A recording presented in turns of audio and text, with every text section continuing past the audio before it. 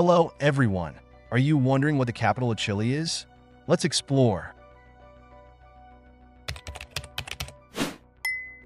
Chile is a long, narrow country in South America, known for its diverse geography that includes deserts, mountains, and coastline along the Pacific Ocean. The capital of Chile is Santiago. Santiago was founded in 1541 and has grown into a major city with a population of around 7 million people.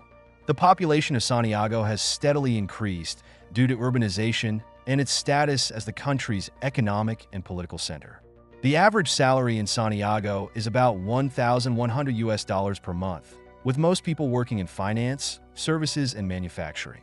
The cost of living in Santiago is moderate, with housing and food prices comparable to other large South American cities. The city experiences a Mediterranean climate, with hot, dry summers and mild, wet winters. Summer temperatures can reach 32 degrees Celsius, while winter temperatures average around 10 degrees Celsius. Santiago is located in a valley surrounded by the Andes Mountains, and the Mapocho River flows through the city, adding to its scenic landscape. Please like the video and leave a comment to support my job. Thank you for watching and see you later. Goodbye.